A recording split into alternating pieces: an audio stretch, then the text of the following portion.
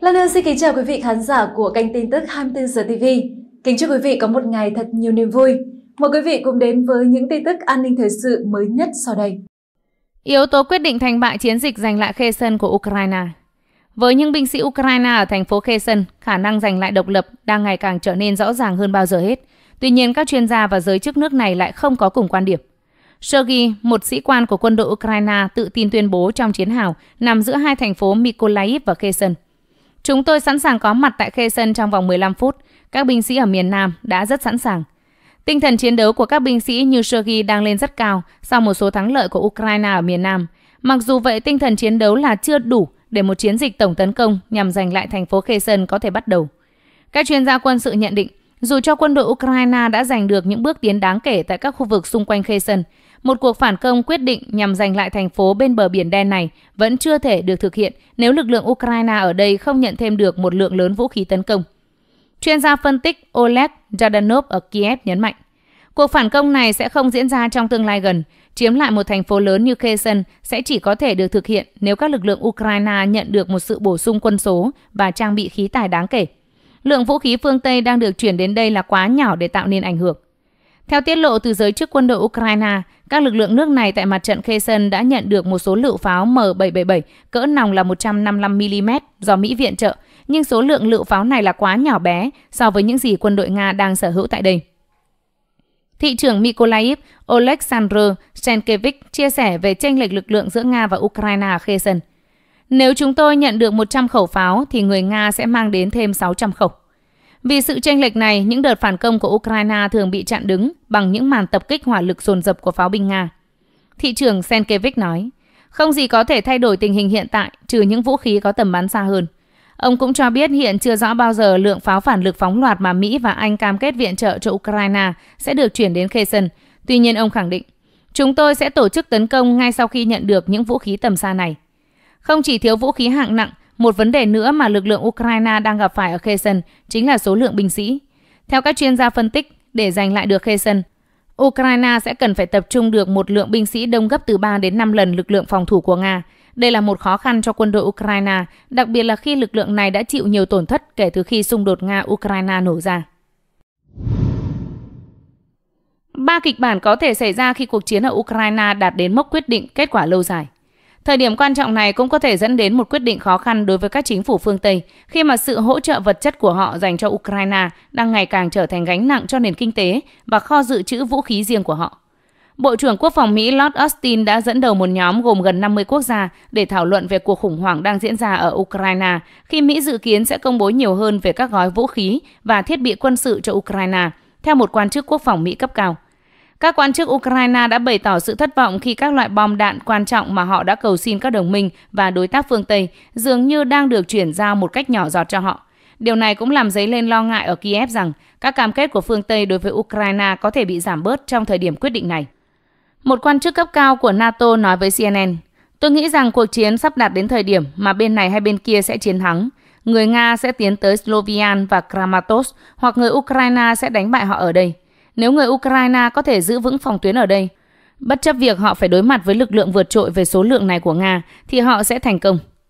Ba kết quả tiềm năng Các quan chức phương Tây đang theo dõi chặt chẽ ba kịch bản mà họ tin rằng có thể xảy ra. Nga có thể tiếp tục đạt được những lợi ích gia tăng ở hai tỉnh quan trọng ở phía đông Ukraine hoặc các chiến tuyến có thể lâm vào thế bế tắc, rằng co kéo dài trong nhiều tháng hoặc nhiều năm, dẫn đến thương vong to lớn cho cả hai bên. Ngoài ra, một cuộc khủng hoảng kéo dài cũng sẽ tiếp tục gây kiệt quệ cho nền kinh tế toàn cầu. Còn đây là khả năng ít xảy ra nhất.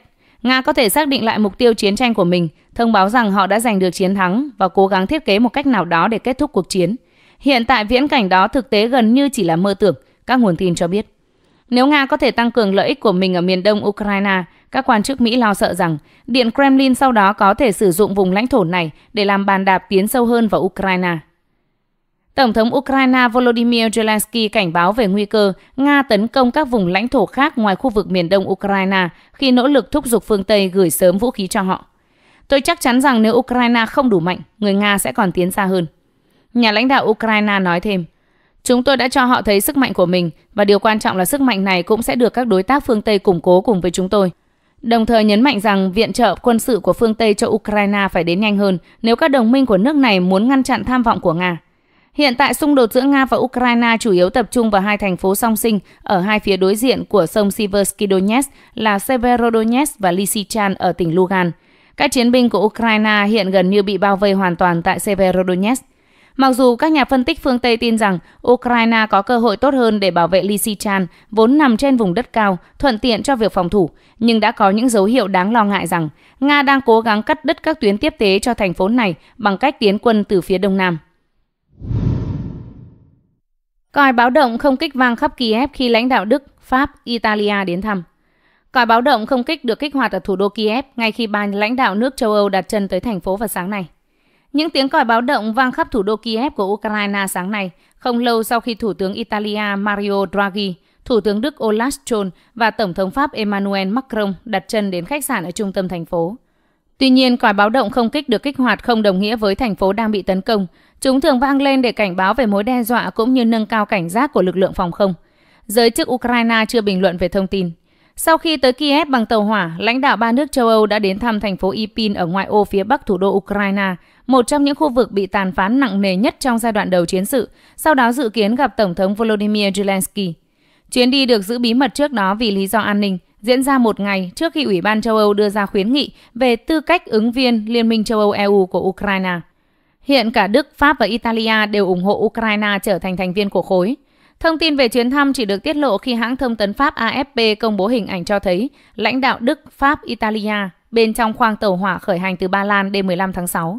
Đây là chuyến đi đầu tiên của ba lãnh đạo này tới Ukraine kể từ khi Nga mở chiến dịch quân sự đặc biệt hồi cuối tháng 2. Các lãnh đạo sau đó xuống tàu tại sân ga ở thủ đô Ukraine. Khi được một nhà báo hỏi lý do đến thăm Kiev, Tổng thống Macron trả lời, vì thông điệp về sự đoàn kết của châu Âu. Kể từ khi Nga mở chiến dịch quân sự ở Ukraine, nhiều lãnh đạo châu Âu và các tổ chức quốc tế đã đi tàu tới Kiev để bày tỏ sự đoàn kết và ủng hộ nước này. Phương Tây cũng đang tăng cường viện trợ các loại vũ khí hạng nặng cho Ukraine, kháng cự đà tiến công của lực lượng Nga. Hồi tháng 4, các lãnh đạo Anh, Ba Lan, Litva, Latvia và Estonia đến thăm Kiev bằng tàu. Các chuyến đi diễn ra hơn 10 ngày sau khi Nga tuyên bố rút lực lượng khỏi ngoại ô Kiev. Khi Tổng thư ký Liên Hợp Quốc Antonio Guterres và Thủ tướng Bulgaria Kirin Petkov thăm Kiev ngày 28 tháng 4, lực lượng Nga đã phóng tên lửa vào thành phố, phá hủy một phần tòa nhà chung cư 25 tầng ở phía tây Kiev. Ngoại trưởng Ukraine Dmytro Kuleba khi đó cho rằng đây là cách Nga thể hiện thái độ đối với Ukraine, châu Âu và thế giới. Chuyến thăm của lãnh đạo Đức, Pháp, Italia diễn ra trong bối cảnh chiến dịch quân sự đặc biệt của Nga đã chuyển trọng tâm vào vùng Donbass ở miền đông Ukraine, nơi có điều kiện tác chiến phù hợp để Nga phát huy ưu thế áp đảo hỏa lực bằng vũ khí hạng nặng. Lực lượng Nga đang kiểm soát phần lớn thành phố Severodonetsk, một trong những chốt chặn cuối cùng của lực lượng Ukraine ở tỉnh Lugan.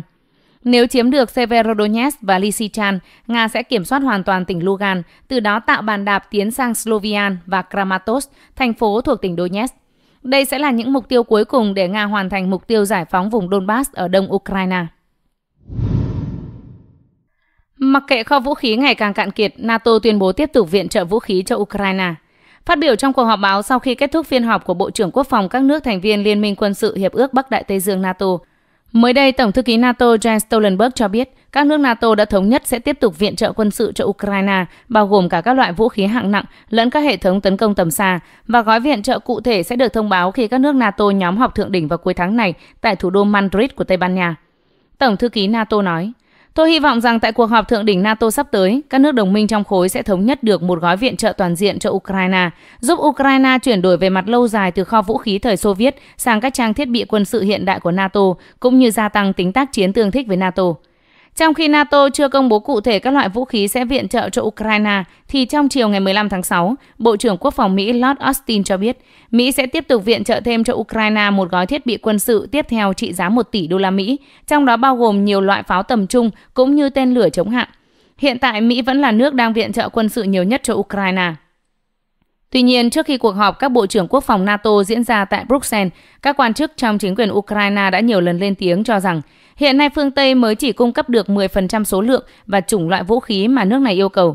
Phía Ukraine cũng chỉ trích mạnh các nước châu Âu khi cho biết rất nhiều nước châu Âu trong đó có Đức, mặc dù đã hứa hẹn cung cấp vũ khí cho Ukraine, nhưng đến nay vẫn chưa chuyển giao. Các chuyên gia quân sự phương Tây đánh giá hiện tại các nước phương Tây đang ngày càng khó đáp ứng yêu cầu từ phía Ukraine do nguồn vũ khí dự trữ tại các nước đều đã sắp cạn kiệt. Tổng thư ký NATO Jens Stoltenberg cũng thừa nhận các nước NATO cần phải có thêm thời gian mới có thể đáp ứng được các đòi hỏi từ Ukraine. Trong khi đó, về mặt chính trị, cuộc chiến tại Ukraine hiện đang bắt đầu gây chia rẽ sâu sắc trong nội bộ các nước châu Âu. Theo một cuộc khảo sát được Hội đồng Đối ngoại châu Âu ECFR tiến hành mới đây với gần 10.000 người tại 9 quốc gia châu Âu, bao gồm cả Vương quốc Anh, hiện số người dân châu Âu lo lắng vì giá cả leo thang, kinh tế khó khăn, đã nhiều hơn số người muốn châu Âu giúp đỡ Ukraine đến cùng trong cuộc chiến với Nga. Nhiều nhà lãnh đạo cấp cao châu Âu như là Tổng thống Pháp Emmanuel Macron cũng tiếp tục nhắc lại quan điểm rằng đến một lúc nào đó Ukraine sẽ phải đàm phán với Nga để chấm dứt cuộc chiến chứ không thể kéo dài mãi. Ông Macron hiện đang có chuyến thăm đến Romania và Moldova nhằm chấn an các nước này trước các biến động gây ra bởi cuộc chiến tại Ukraine. Bản tin của chúng tôi xin khép lại tại đây. Xin cảm ơn quý vị đã lắng nghe và luôn ủng hộ tin tức 24 giờ TV. Nếu quý vị chưa đăng ký kênh thì hãy nhấn nút đăng ký và nhận chuông báo bên cạnh để nhận được những bản tin mới nhất của chúng tôi. Một lần nữa Lan Hương xin kính chúc quý vị và các bạn mạnh khỏe và bình an. Còn bây giờ, xin kính chào và hẹn gặp lại.